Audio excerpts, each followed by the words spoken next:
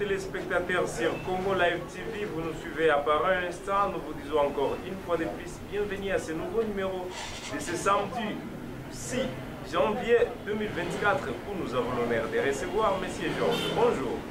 Bonjour, bonjour, bonjour tout le monde, bonjour les amis, les Congolais de partout qu'ils se trouvent. Monsieur Georges, est-ce que ça va?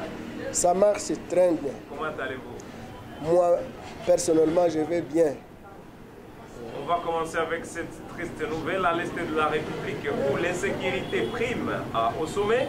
Plusieurs sources locales affirment que les M23 RDE collaborent déjà avec les groupes armés Twiranéo au site Kivu. La nouvelle a été récemment confirmée par les rapports des experts des Nations Unies. Les M23 qui collaborent déjà avec les Twiranéo euh, de la province euh, du site Kivu. Ce n'est même pas une nouvelle.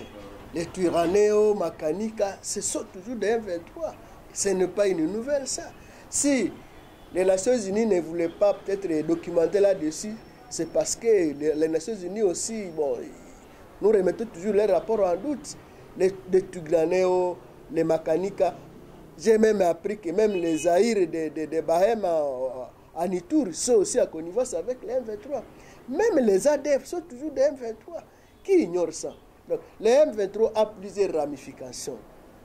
Je cite Zaïre, ADF, Turaneo, Makanika et d'autres petits groupes de, de- des Ouazalènes qui se disent Ouazalènes, mais qui sont des pro-rwandais. Tout ça, nous connaissons. Il y en a de trop. Mais cependant, leurs médicaments, la, disons, la dose est déjà là. La cure est déjà là. Bientôt, on va la faire avaler à ces gens-là et ils vont finir. Ça, nous sommes déjà trop préparés. Les matériels sont déjà là pour les contrôler. Les militaires engagés sont déjà là pour les, les- anéantir. Mais aussi la force que moi j'appelle force supplétive ou alors les forces de soutien qu'on appelle SADEC, elle est déjà là.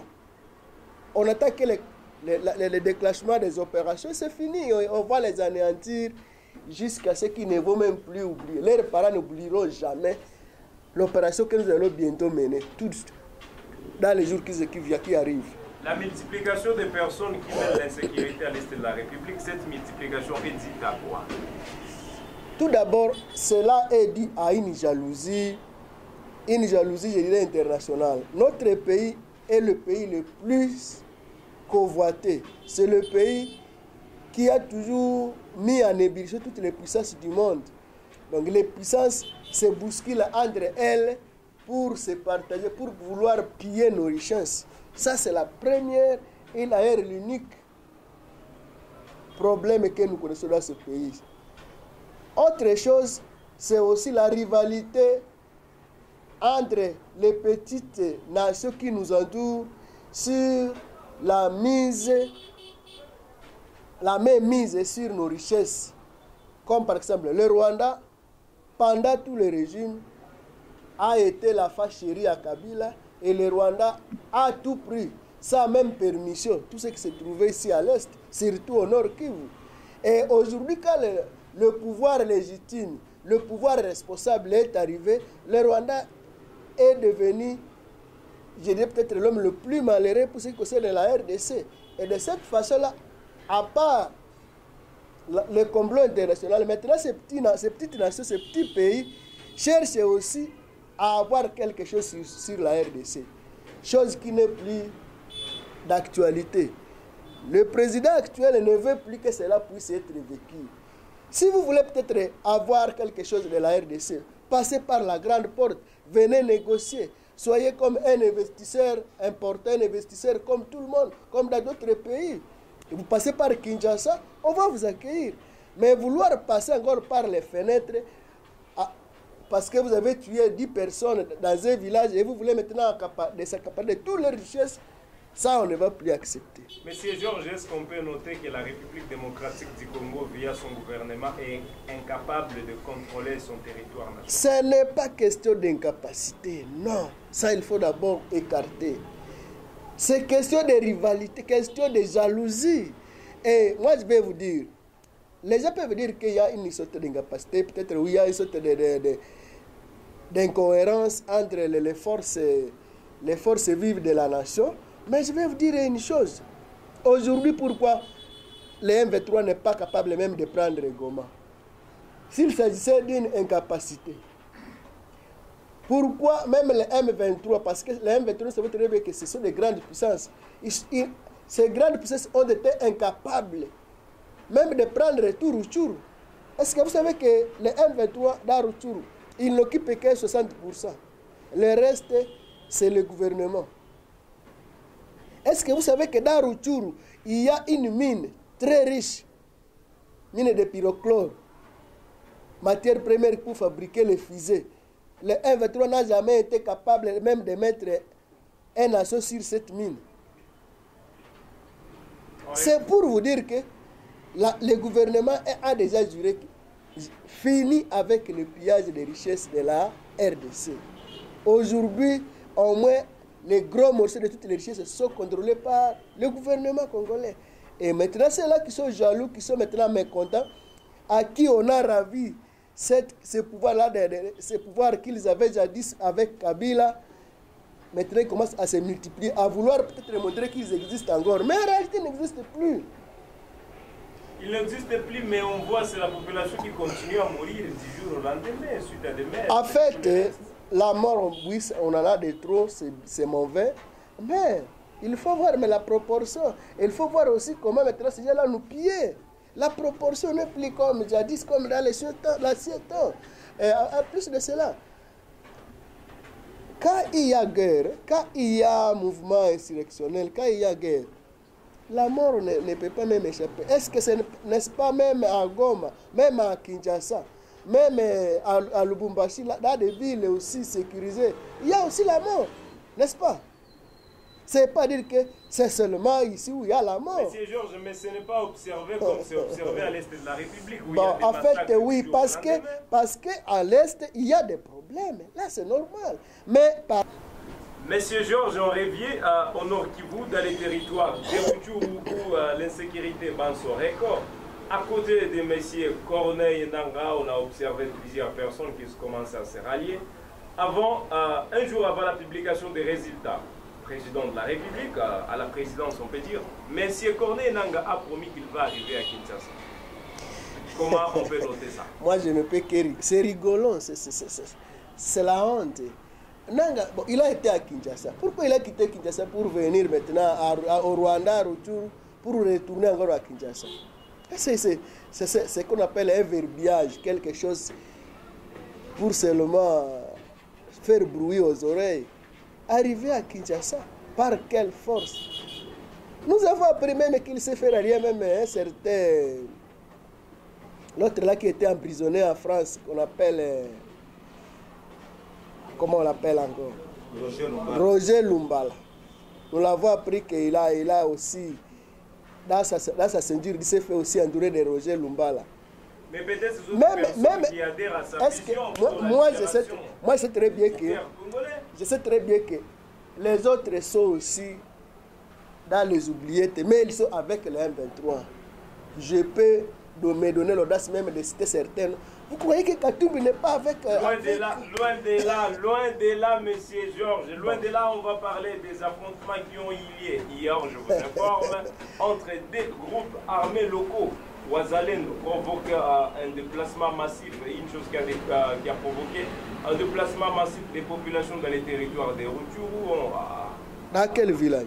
Dans le village à Boueremana, à localité Moufounishanga, entre les AP Célestes Ça, c'est à et Massis. les dans les Ah. Alors, ça, c'est dans les Massis. Dans les les personnes Massis. qui étaient censées protéger euh, la population ce sont des personnes qui se sont bâties.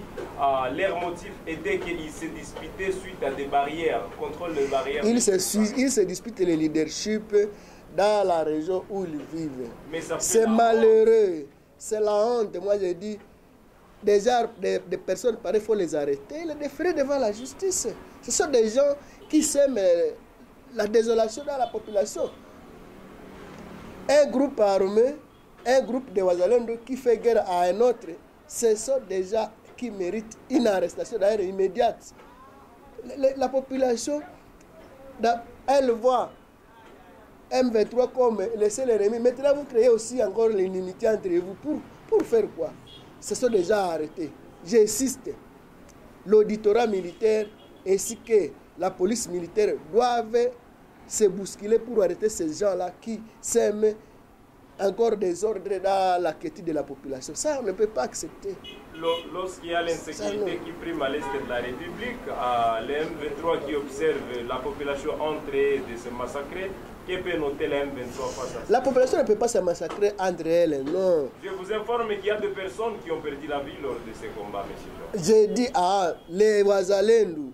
Il faut, il, faut, il faut faire la différence entre la population, entre elle et les Ouazalendou. Les Ouazalendou sont des gens, qu'on nous appelle, bon, des gens qui ont pris les armes pour la patrie. Mais il ne faut pas aussi accepter que ces gens qui ont pris les armes pour la patrie, qu'ils puissent encore se disputer des petites choses. Imaginez quand on parle de bon, contrôle des petites barrières, petites cagnottes de 1000 francs. Il faut maintenant crépiter des balles. Ça, non. Il faut que l'auditorat, il faut que la police militaire mette la main sur ces gens-là et qu'on les défère devant la justice. Point barre. Ça, fera une leçon pour les autres qui pourront encore en faire autant. Mais sinon, il ne faut pas accepter les appareils. L'ennemi est unique et seul. Il s'appelle Rwanda M23. Et pourquoi encore créer d'autres ennemis à l'intérieur même du groupe? Ça, on ne peut pas accepter. En tout cas, moi, je condamne fermement. J'interpelle les services de faire leur part des choses pour qu'on arrête l'auteur et les- l'auteur de cette histoire. Ça, on ne peut pas accepter. Est-ce que le phénomène Ouazalendo est important pour la sécurité à Le phénomène Ouazalendo, c'est une histoire très importante. Si le, le président Félix, chef de l'État, a fait appel à ses enfants, ce n'est pas gratuit, ce n'est pas pour rien. Même dernièrement, vous avez appris qu'il a même nommé leur coordonnateur national et coordonnateur adjoint. Ce n'est pas gratuit. Dans tous les pays du monde, la force des réserves a toujours existé. Même aux États-Unis, si on vous parle de, de la force des réserves, les réservistes, ils existent. Nous avons vu dernièrement en Israël, il y existe. Et pourquoi pas en RDC Donc nous nous faisons l'exception? Non. Les frères Ouazalendo, et surtout que ce sont des patriotes qui se donnent la- la- l'audace d'aller même sur les lignes de front, ça même est sous. C'est quand même quelque chose à applaudir. Mais nous n'allons pas aussi encourager années entre eux. Non, ça non. Quand on est Mouzalendo, il faut réellement prouver les Bouzalendo.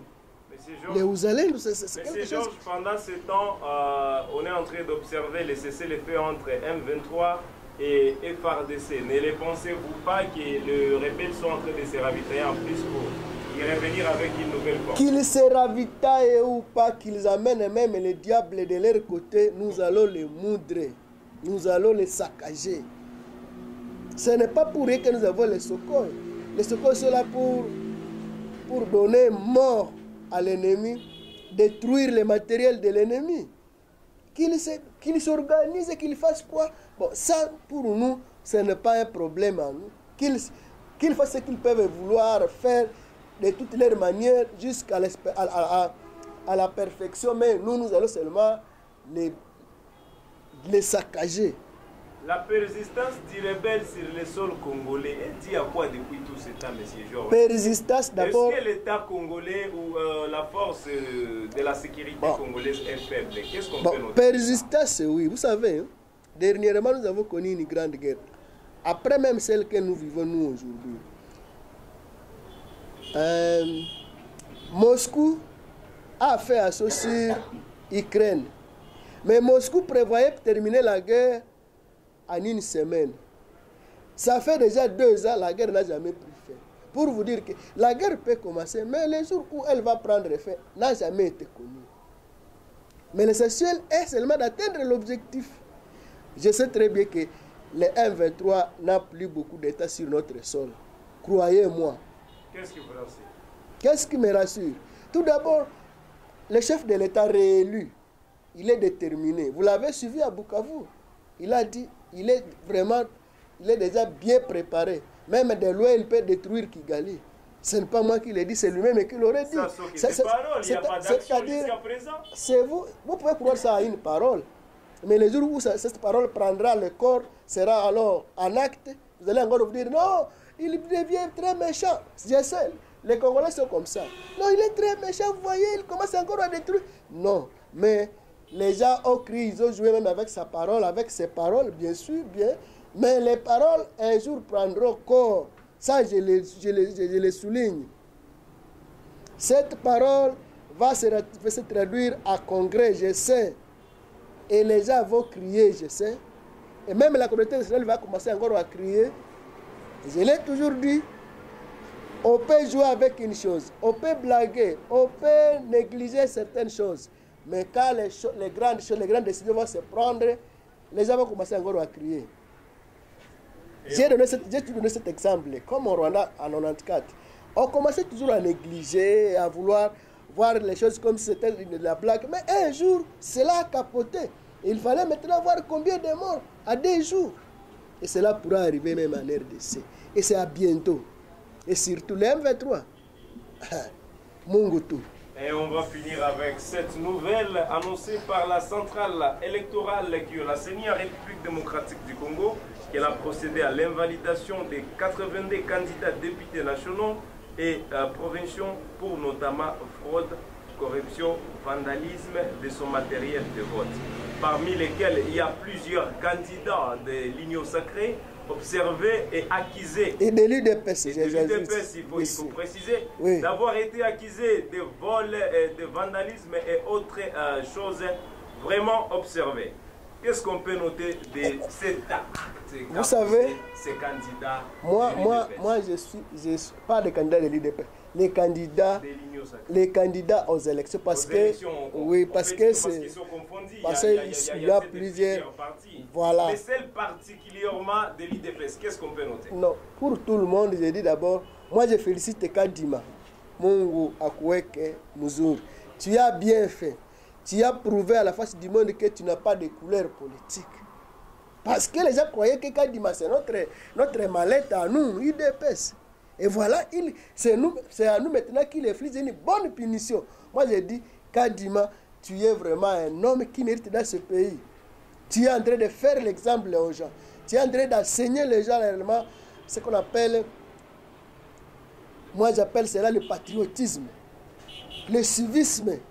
Le civisme électoral, tu l'as appris aux gens. Quand tu as validé les mais on, a- on apprendrait que la liste serait elle-même longue.